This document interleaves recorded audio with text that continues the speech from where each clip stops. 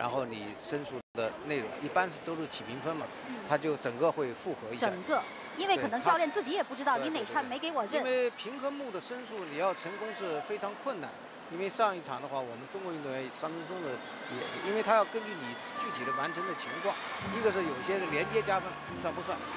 好，先来看一下现在中国队的平衡木比赛，第一位上场的是黄慧丹。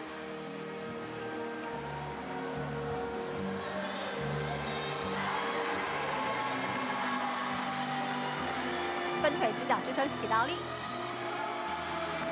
看黄慧丹的动作呃比较优美，她的呃脚尖、膝盖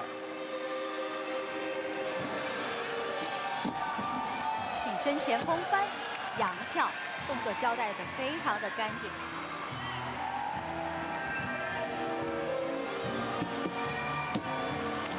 小翻后团，做的也比较稳健。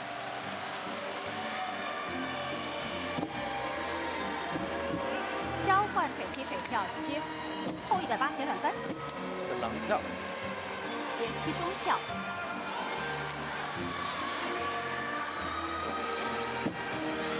侧空翻侧挺也很稳，到目前为止脚下跟生了根似的。逆转三百六十度。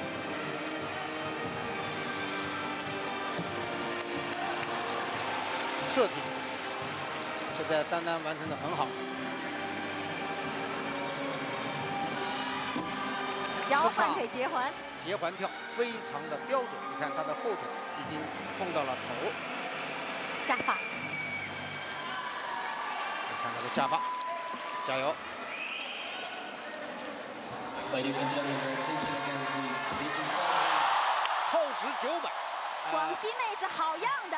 关键的时候顶住，因为在高低杠我们强项上出现两人式的大失误，这样在平衡木上我们一定要多挣分。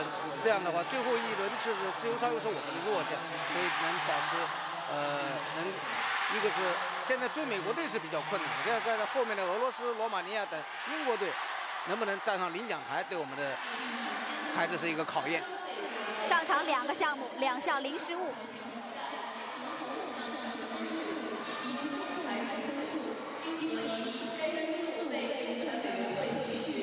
刚才 Rose 的申诉被驳回，原维持原判。